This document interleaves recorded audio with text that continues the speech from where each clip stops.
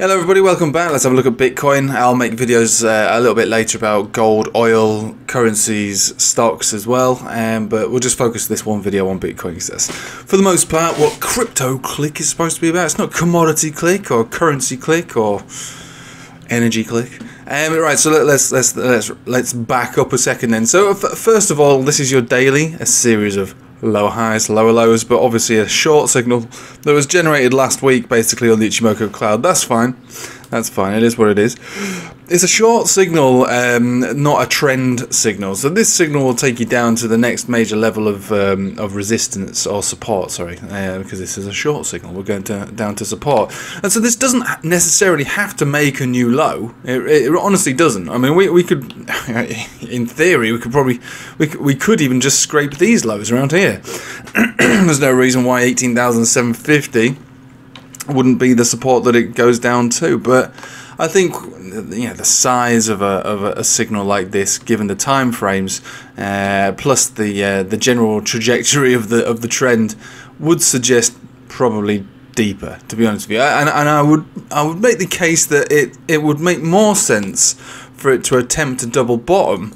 Um, I'm not saying that this is the absolute bottom, but to attempt to double bottom uh, with this leg down. So we're talking effectively about 18,000 flat, just front running ever so slightly the uh, the wick that came down on that capitulation dump. Remember, this was accentuated by you know three arrows and all this all this other stuff. You know, uh, this time it's just trend base, uh, downtrend. Uh, you know continuation of the bear market, basically. So slightly less aggressive, although you know backed up with the TA to suggest that this is the direction. But there is a silver lining amongst this very dark cloud, or should I say, a red Ichimoku cloud, um, which is that on both uh, the daily and uh, and on the four hourly, we we we appear to be forming uh, some re reasonable bullish divergence. Okay, so you've got your low here so far. We've not yet made a lower low, but if we were to do a lower low, so long as the uh, the RSI continues to make a higher low, there'll be two tags of bullish divergence on your RSI. Obviously, we need to monitor the situation as we as this occurs. Same would apply to the money flow index. Now, this is present on not just the daily, but it's also on the four hourly, which is working on a, a, three drives basically, which is more bullish than just two drives of bullish divergence. So it, it would suggest that bouncy bounce time, I would suggest, uh, is is more likely as we approach these lower zones. Um, maybe, like I say, in the in the immediate term, you know, maybe at this this this some point this week, as that short signal is most likely to play out any minute. To be honest, with you, we've been waiting a week. Normally, you'd expect over a, a two week period after a daily signal, you know, should should have played out, but after a, a couple of weeks, really. So we'll be looking for this to uh, maybe form that double bottom and get a bounce from there. Now the bounce could just be a very anemic bounce. You know, based on the four hourly, we, let's just say we, we, we double bottom on 18,000 flat. We could move up about 20%, you know, 18% at the moment to retest this 200 exponential moving average on a four hourly. That would be a bearish retest basically, coming back up to a major level of support. Sorry, resistance, sorry. But um, you know, it's, it's highly speculative at this point because we've not even seen the bounce, we've not even seen the drop. We're kind of in no man's land, waiting for it to decide. Um, but th these are the sort of things that you'd be looking for. And like I say, we've got uh, at the moment quite steep um, trajectory of RSI, so it looks relatively likely that we would get three drives of bullish divergence on the next leg down. And uh, I, I would I would put it to you that rather than making a new low straight away, uh, that basically the, the, is just speculative, um, but more or less this area gets either front run or ever so slightly, um, ever so slightly. Uh, compromised uh, to, uh, and then we bounce from there probably a significant bounce based on that bullish divergence really uh, this is also present on the weekly so if we just go to the weekly whoa uh, let's have a look at the weekly here for you so just get rid of that we don't really need that nor do we need this um, it would be oh, I've got rid of my whole RSI that's that was a bit extreme.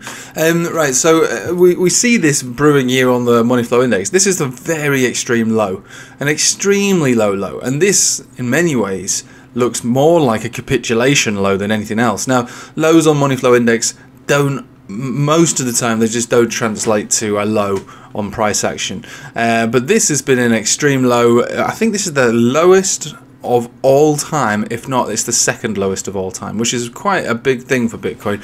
And if you think about all the reasons why, you know, like I say, all the uh, the FUD events that were real, the liquidation events, uh, uh, that makes perfect sense for it to be so ridiculously low. This was more than just panic selling. This was this was selling through, you know, people having to bloody sell uh, to keep their heads above water. Um, so yeah, I, I I see that as a unrealistic low to be made once again, unless of course you find other reasons for people to sell at unnecessarily low prices because they have to. So it makes it would make the case that this could be forming the bullish divergence on the money flow index, to which has always printed the bottom. Now we've talked about this in the past uh, when we came down to this low, because this was an unreasonable low as well. Um, uh, and we see these reads here. So low, higher, low, low, higher, low. It's pretty. Un, it's not very neat there, but low, higher, low. And these two here actually actually perfectly nailed the lows. Uh, so we'll just have a quick look at these over here. Sorry, I'm making a real mess of a chart today, aren't I? what's going on here? Um, right, so we just uh, have, a, have a quick look at all these lows. So here was your first low, around basically 6,000-ish area. and then your capitulation low forming the higher low, which was the absolute low.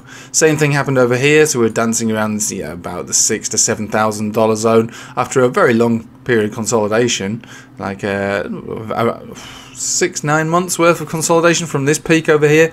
And then we had the capitulation dump from March, uh, the, uh, the COVID dump, marking the absolute low. So we might be looking at something like that on the horizon. And that would make sense from a cycle perspective because we've been speculating that on a time, you know, as far as the time and cycle is concerned, we'll, we'll be thinking Bitcoin's going to put a low in anywhere from September to November, December. So we, have got quite a long wait, to be honest with you, to wait for this absolute low to kick in. But we've got something that we can hold on to, which is this, this, and potentially this as well. Like I say, of course, we can always make another lower low on this money flow index, but I think uh, I think it's gone on for long enough, and I think uh, I think if we do find ourselves dropping down to a significant level, there is a chance. there is a chance that that would be the bottom. But this first, or should I say, this next leg down I don't think will be the bottom.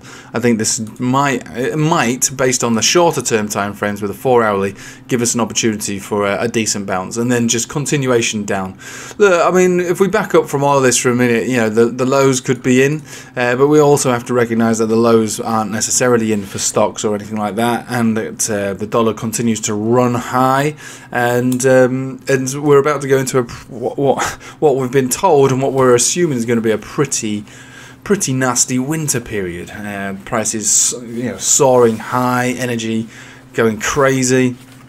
Maybe even rations, I've heard through the conspiracy grapevine. But you know, who am I to say what's real and what's not in, the, in this simulated reality we appear to be living in? So it's difficult for me to uh, to, to say what's real uh, and you know and what is actually coming. But doesn't feel, you know, doesn't feel very nice, uh, to be honest with you. From every direction, whether you're a conspiracy or not, there's doom, gloom, and high prices.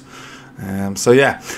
So that I mean that is the general takeaway of what I think is going to happen this week. I think we are going to come back down. I think we, we there is a chance that we find a double bottom around this area and then find a decent bounce, probably just based on the four uh, four hourly exp- uh, 200 exponential is where I'd uh, be targeting the top on this bounce, um, which again is over 15% maybe from wherever we drop down to. Let's just say we managed to actually fall down to to this 18,000 of bounce from it.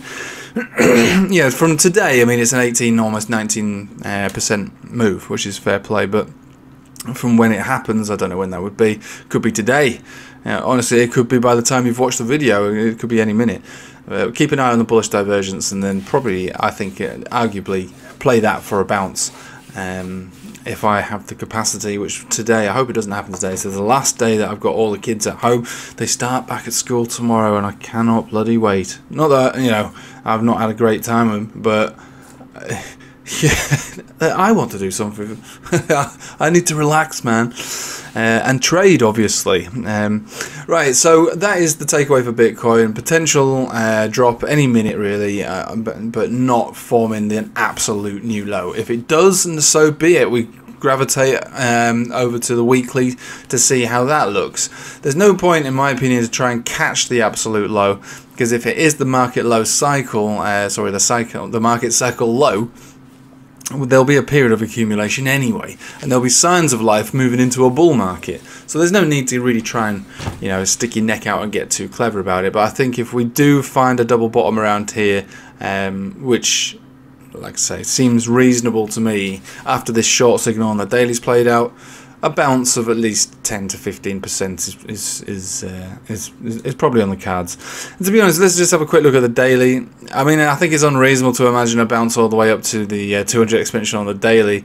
Uh, 50 exponentials, 22, 21 exponentials, 2,800. So yeah, I would focus mostly on the um, on the four hourly for this potential bounce or bear trap or whatever it might be referred to. I'm just calling it a, uh, a double bottom for the time being. We've done all this sort of stuff before, really. Uh, double bottomed around here, triple bottomed. But the more uh, relevant one, I would say, would be looking at this one. So giant consolidation, big move down, anemic move up, a double bottom, and then a move. Now, this was obviously in the context of a bull market. Um, forget what happened shortly after, but uh, I think we might be looking at something similar to that, um, but a bit more anemic because obviously this is a bear market. We won't be looking at such a significant move up, but we would be looking at yeah a, a nice move based on the bullish divergence on that four hourly. So I wouldn't want to be shorting Bitcoin at this point now. Um, I would be looking for, a, if anything, yeah, like a maybe a, a buy the dip or a uh, or, or a very small long, to be honest. Right, thanks for watching. Hope you have a nice day and take it easy.